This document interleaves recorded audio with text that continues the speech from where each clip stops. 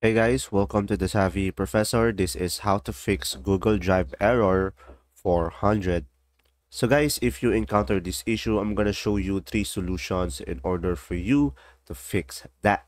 So guys, from here on your web browser, just go over to this uh, three dots. And after that, just go over here, help.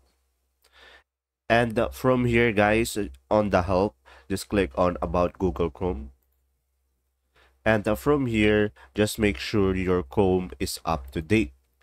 So guys if your Chrome is up to date and you still encounter the issue what you could try to do is go over to your settings right here again on the three dots and click on over here settings. And now guys over here on the settings just use the search bar and search for clear.